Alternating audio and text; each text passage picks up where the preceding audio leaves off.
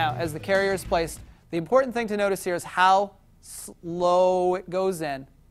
It doesn't need to be rapid and aggressive placement. When you think you're going too slow, you're going just right to the apex. The other thing I would do clinically that's just a little different than the video shows, there would be a paper point in the mesial lingual canal to prevent any gutta percha from going over and clogging that orifice, just making it a little bit easier to prevent any blockage right here.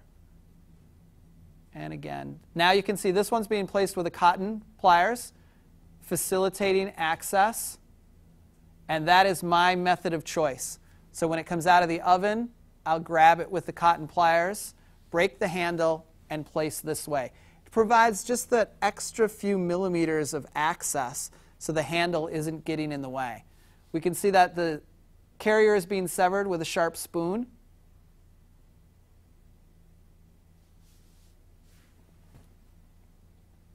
and removing a little bit of the extra gutta percha. Now in the distal canal, that's quite broad, facial lingual.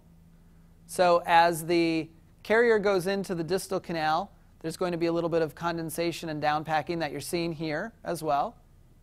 Place GuttaCore into the root canal system in one smooth motion without excessive force.